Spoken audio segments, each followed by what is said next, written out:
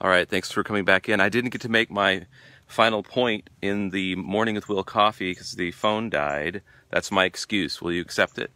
Uh,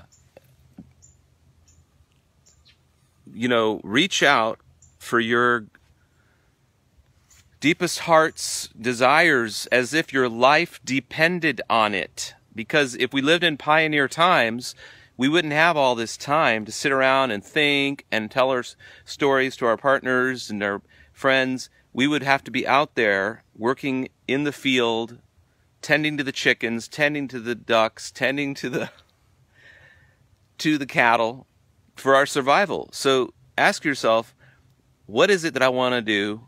What's my deepest heart's desire? What I want to do in my life? As if my life depended on it. Meditate, yoga, create some music, connect with your your friends and your folks. Get push through the excuses, you know, and write them all below. What are your excuses for not really connecting with your your deepest heart's possibilities, huh? Hey, Stephen. And if you lived in pioneer times, you'd get up at the crack of dawn and you would have no choice but to tend to your life for survival. Most likely, if you lived in pioneer times. Stephen just left me. He's up early out in in uh, I'm assuming out in L.A.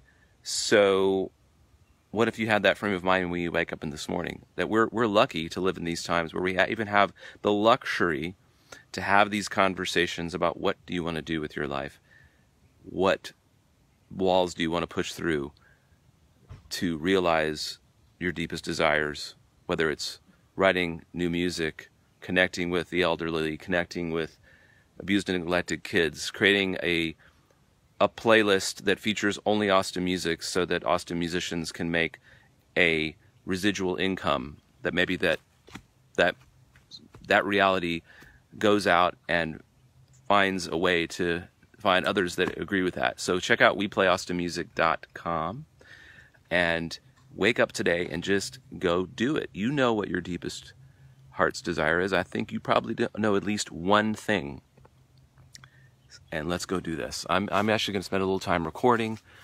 and I am going to also do a little bit of computer work. Hope all is well, and have a great Saturday.